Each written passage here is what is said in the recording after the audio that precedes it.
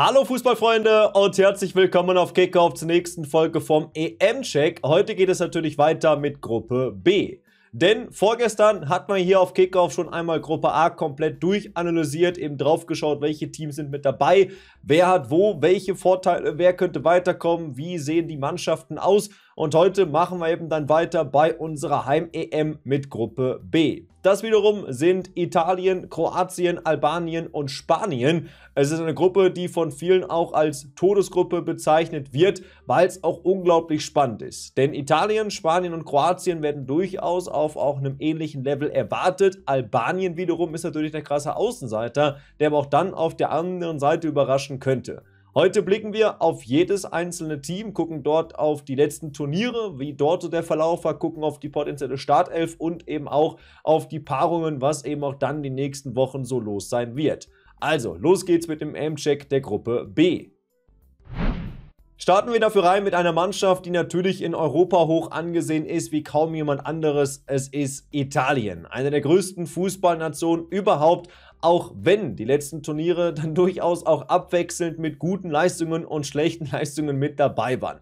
Denn zum ersten Mal in Italiens WM-Geschichte hat man sich zweimal in Folge für eine WM nicht qualifiziert. Erst eben dann 2018 in Russland und dann auch die WM-Quali für Katar hat man 2022 nicht geschafft. Und davor gab es ja auch zweimal das Vorrunden aus. Der letzte Erfolg von Italien bei einer WM war in Deutschland beim Finale, des man Weltmeister geworden. Vielleicht für die Italiener eine gewisse Motivation, jetzt auch bei der EM ähnlich liefern zu können wie zuvor.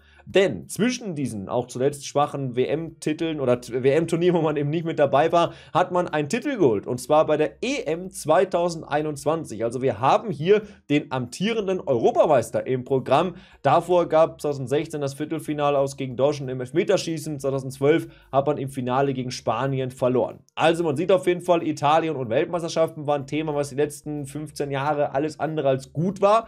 Italien und Europameisterschaften, das aber wiederum schon. Klar ist aber auch, es ist eine schwere Aufgabe für die Italiener, hier die Gruppe zu überstehen, weil sie eben nicht einfach ist, auch wenn natürlich theoretisch auch Platz 3 reichen könnte. Aber natürlich haben die Italiener das Ziel, direkt weiterzukommen, vielleicht auch sogar dann als Erster. Und der Trainer dafür ist Luciano Spalletti. Den kennen vielleicht einige von euch, ist ein sehr erfahrener Trainer mit seinen 63 Jahren, der schon viele Clubs trainiert hat, unter anderem AS Rom, Inter Mailand und auch bis zum letzten Sommer Neapel. Seit letzten September ist er eben jetzt dann Trainer bei Italien. Sein Vertrag läuft bis nach der WM 2026. Taktisch agiert Italien relativ flexibel. Im Herbst hat man nämlich im 4-3-3 gespielt. Da gab es unter anderem Siege gegen Malta und Nordmazedonien, eine Pleite gegen England. Und jetzt eben auch noch und dann noch ein Remis gegen die Ukraine. Und jetzt im Frühjahr hat dann Spalletti ein bisschen was ausprobiert im 3-4-3. Da gab es dann Siege gegen Ecuador und Venezuela. Wir haben auf jeden Fall in Italien wirklich mehrere Topspieler. Die Achse ist unglaublich gut mit eben Donnarumma im Tor, Bastoni in der Abwehr, Jorginho, Barella im Mittelfeld, Chiesa, wenn er denn in Topform ist, eben dann in der Offensive. Denn genau dort fehlt ansonsten noch so ein bisschen die letzte Qualität. Plus hinten haben wir auch verletzte Spieler wie der erfahrene Acerbi oder auch das italienische Top-Talent Scalvini aber die Mannschaft macht schon was her. Vor allem auch die Defensive ist unglaublich stark mit Di Marco auf der linken Seite, mit Di Lorenzo, der in Neapel der Kapitän war von Spalletti auf der rechten Seite. Das Mittelfeld hat unglaubliche Qualität, aber in der Offensive fehlt eine klare Nummer 9. Ciro Immobile zum Beispiel, der das in den vergangenen Jahren war, ist nicht gut in Form, deswegen gar nicht mit dabei. Und da hast du eben dann verschiedene jüngere Möglichkeiten, wie eben dann zum Beispiel Skamaka, auf den es auch dann unter anderem ankommen wird. Wenn wir dann mal auf den Turnierverlauf schauen, ist natürlich für Italien klar, dass man im ersten Gruppenspiel am 15.06. in Dortmund direkt liefern sollte. Albanien ist der klare Außenseiter, da musst du den Anspruch haben, ja auch im besten Falle klar zu gewinnen. Und dann geht es nämlich im zweiten Gruppenspiel in Gelsenkirchen auf Schalke direkt mal rund gegen Spanien, vielleicht das Top-Duell in dieser Gruppe. Abschließend dann noch gegen Kroatien in Leipzig am 24.06. und dann wird sich entscheiden, ob Italien weiterkommt oder nicht. Ich traue es den Italienern auf jeden Fall zu, aber irgendwo fehlt mir in diesem Jahr das letzte bisschen zur Überzeugung, um sagen zu können, ja, das ist ein Titelfavorit. Ein Titelkandidat ist vielleicht auf der anderen Seite Kroatien, die ja in den vergangenen Jahren sich diesbezüglich sehr ins Rampenlicht gespielt haben. Auf die gucken wir jetzt mal im heutigen EM-Check.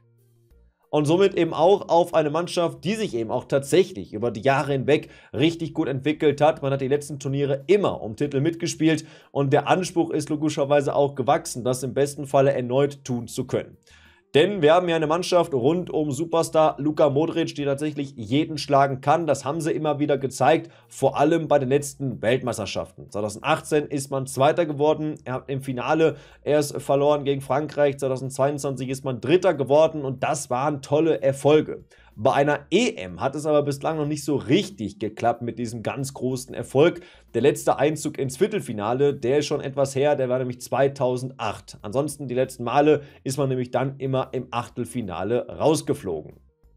Der Anspruch ist natürlich deutlich höher, als nur das Achtelfinale zu erreichen und da könnte Kroatien in die Karten spielen, dass man auf jeden Fall auf der Trainerposition zumindest im Vergleich zu vielen anderen Nationen eine sehr krasse ja, Kontinuität hat mit eben Slatko Dalic, der seit 2017 schon Cheftrainer ist. Er natürlich auch sein Team über Jahre hinweg wirklich richtig gut entwickelt. Das Vertrauen gegenseitig ist sehr, sehr groß. Man hat eben die Erfolge mit ihm gefeiert und sein Vertrag läuft sogar auch noch direkt mal bis zur WM oder bis nach der WM 2026. Also man will hier auf jeden Fall noch weiterhin zusammenarbeiten.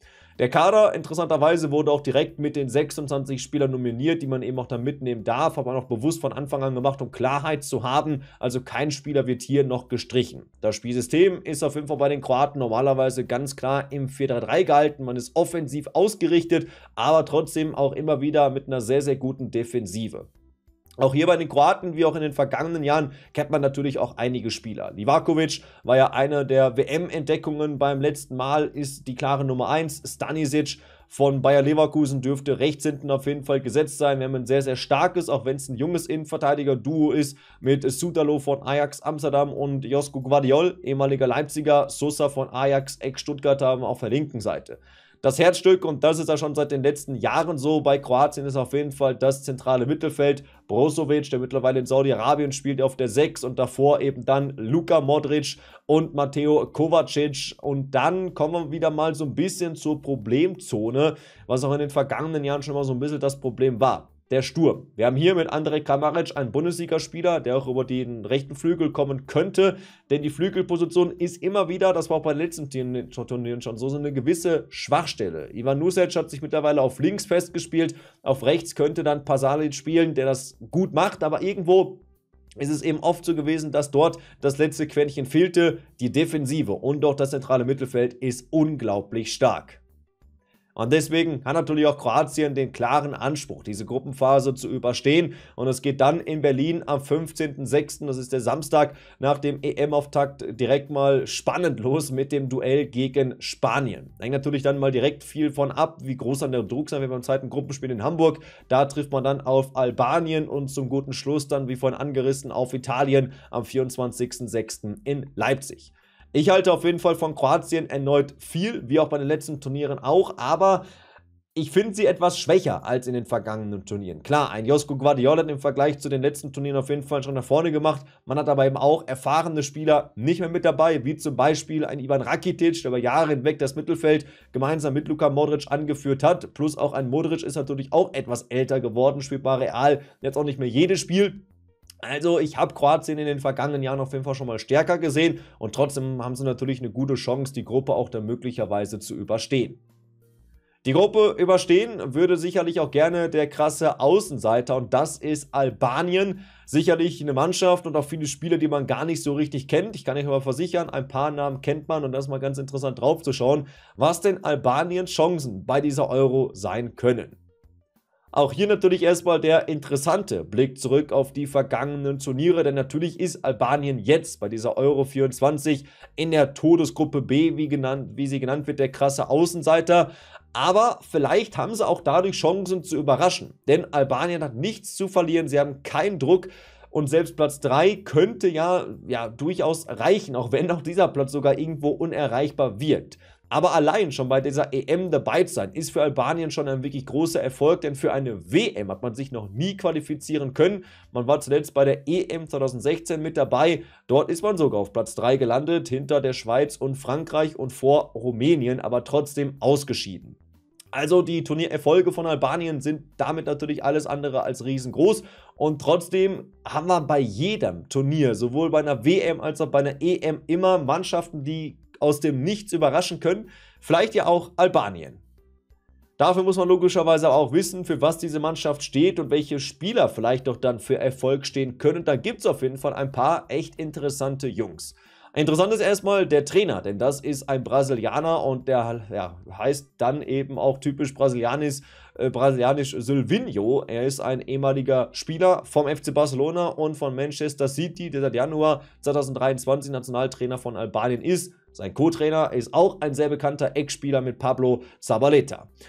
In der Quali hat man auf jeden Fall echt abgeliefert. Das war schon überraschend, dass sich Albanien so stark für diese EM qualifizieren konnte. Man hat unter anderem Tschechien und Polen hinter sich gelassen.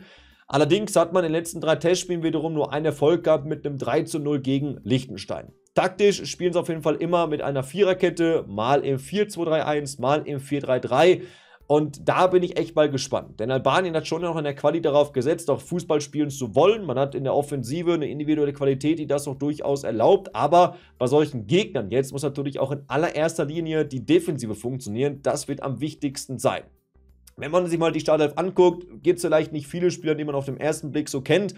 Einige spielen davon in Italien und wir gehen mal ein paar Namen durch. Zum Beispiel Aslani auf der 6er Position ist ein Schlüsselspieler, ganz klar. Auf den muss man ganz klar das Auge gerichtet haben, wenn du auf Albanien schaust. Er spielt normalerweise bei Inter Mailand. Auch die beiden Innenverteidiger, Diemisti und Ismaili, spielen in Italien, genauso wie der Rechtsverteidiger Hisai von der oder von Lazio oder Neapel, eins von beiden, der schon jahrelang in Italien spielt. Aus Deutschland ist auch einer mit dabei, und zwar Klaus Jasula von äh, Darmstadt. Und in der Offensive man dann vor allem auch Spieler wie Mukci, wie Bayrami, Broja, ehemaliger Chelsea-Spieler. Also da ist auf jeden Fall schon eine gewisse Qualität vorhanden.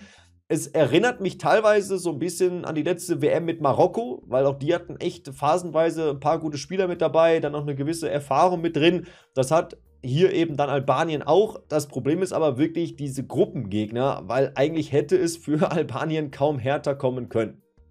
Denn allein schon das erste Spiel dann gegen Italien, gegen den amtierenden Europameister, wird schon eine klare Herausforderung sein am 15. Juni in Dortmund. Dann spielen sie gegen Kroatien in Hamburg und abschließend in Düsseldorf gegen Spanien. Man wird in jedem Spiel der Außenseiter sein, aber wie gesagt, das kann eben auch die Chance sein zu überraschen. Überraschen will Spanien sicherlich nicht so zwingend, weil wenn eigentlich so ein Team wie Spanien überrascht, dann wäre es eher negativ. Denn natürlich gehört Spanien wie immer zum erweiterten Favoritenkreis und wir gucken mal darauf, ob sie denn tatsächlich dazu gehören sollten. Denn die letzte EM war ja auch durchaus erfolgreich für die Spanier. Da ist man erst im Halbfinale im Elfmeterschießen ausgeschieden gegen den späteren Europameister Italien. Aber Trotzdem liefen die letzten Jahre in Spanien nicht ganz so einfach. Bei der letzten WM gab es das überraschende Aus im Achtelfinale gegen Marokko im Elfmeterschießen. Und auch zuvor war man ja schon bei der WM 18 im Achtelfinale raus, bei der WM 14 in der Gruppenphase rausgeflogen. Auch bei der EM 2016 lief es nicht so richtig rund. Also die großen Erfolge von 2008 bis 2012, da ist man seitdem nicht mehr so richtig rangekommen. Bedingt aber eben dann durch das Aus beim, bei der WM in Katar gab es einen Umbruch rund um einen Trainerwechsel. Man hat mehr auf junge Spieler gesetzt. Man ist auch noch mittendrin in dieser Phase des Umbaus. Das ist noch nicht abgeschlossen und deswegen kann man vielleicht sagen, diese Truppe hat Potenzial. Ob es aber dann für das letzte bisschen reicht, sprich für den Titel, da könnte es vielleicht auch noch einen Ticken zu früh für kommen. Aber klar ist, man kennt viele spanische Spieler, man hat viele Top-Spieler auch immer noch mit dabei. Und seit der letzten WM ist eben Luis Enrique nicht mehr Trainer. Seitdem haben wir hier Luis de la Fuente als Coach mit dabei. Der war zuvor jahrelang Trainer bei Spaniens U21 und U19. Die M-Quali, die hat auf jeden Fall die Nationalmannschaft ohne Probleme und souverän gemeistert. Man hat und natürlich auch schon irgendwo das Ziel, zum vierten Mal diesen Titel zu gewinnen. Die letzten beiden Testspiele waren allerdings dann auch nicht so überragend gut mit einem 0 zu 1 gegen Kolumbien und einem 3 zu 3 gegen Brasilien. Typisch Spanisch geht es aber auch aktuell weiter im 4-3-System. Im Ballbesitz wird es dann noch oftmals zum 4-2-3-1. Aber der klassische Ballbesitzfußball, der ist hier auch weiterhin im Fokus. Mit Unai Simon hat man auf jeden Fall einen richtig starken Keeper. In der Viererkette mit Cavajal von Real Madrid plus Lenormand und Laporte eigentlich drei Spieler, die immer gesetzt sind. Linke Seite gibt es auch ein gewisses Fragezeichen. Da müsste aber bedingt durch diese wahnsinnige Bundesliga-Saison Alejandro Grimaldo die Chance haben, Stammspieler zu sein. Rodri ist ein ganz, ganz wichtiger Fixpunkt auf der Sechser-Position. Und davor ist eben auch dann so ein bisschen die Frage der Ausrichtung. Also spielst du mit einem klassischen Zehner, würde sicherlich Olmo eher in die Mitte ziehen. Spielst du mit zwei Achtern, haben Mirino, Ex-Dortmunder und Ruiz von PSG auf jeden Fall die besten Karten. Ansonsten haben wir auch dort in der Offensive wirklich hohe Qualität mit zum, zum Beispiel Lamin Jamal vom FC Barcelona auf dem Flügel, aber eben auch mit Dani Olmo von RB Leipzig. Es gibt noch weitere interessante Spieler und das Sturmzentrum geht an Alvaro Morata. Spanien auf jeden Fall für mich mit einer richtig guten Mannschaft hier im Turnier dabei. Erste Gruppenspiel wird natürlich dann immer wichtig sein, für jedes Team gut reinzukommen. Da geht es dann in Berlin am 15. Juni gegen Kroatien. Danach das Top-Duell in Gelsenkirchen gegen Italien und zum Abschluss spielen sie eben dann noch gegen Albanien in Düsseldorf. Und somit war das also mein EM-Check für die Gruppe B. Sicherlich einer der spannendsten überhaupt bei der diesjährigen Euro bei uns in Deutschland. Für mich ist auf jeden Fall Spanien hier der relativ klare Favorit, weil sie eine wirklich tolle Mischung haben aus Erfahrung und Talent und sicherlich auch Hunger darauf haben, nach den schwachen Turnieren jetzt auch endlich mal wieder extrem abliefern zu können. Italien fand ich auf jeden Fall grundsätzlich schon mal etwas souveräner. Bei den Euros waren sie meist aber auch einen Ticken besser unterwegs. Trotzdem habe ich da irgendwo das Gefühl, dass sie auch stolpern können. Kroatien sich auch etwas schwächer als zuvor. Trotzdem natürlich diese drei Mannschaften ganz klar die Favoriten. Albanien kann auf jeden Fall nur überraschen. Ist eben dann die Frage, ob das aber trotzdem dann tatsächlich gelingen kann. Ich bin sehr gespannt, wie diese Gruppe B ausgehen wird. Und jetzt könnt immer gerne eure Meinung zu der Gruppe, zu den vier Mannschaften plus auch grundsätzlich zu dem Format mal gerne in die Kommentare schreiben. Dann sehen wir uns im nächsten Video wieder. Macht es gut, ciao und bleibt am Ball.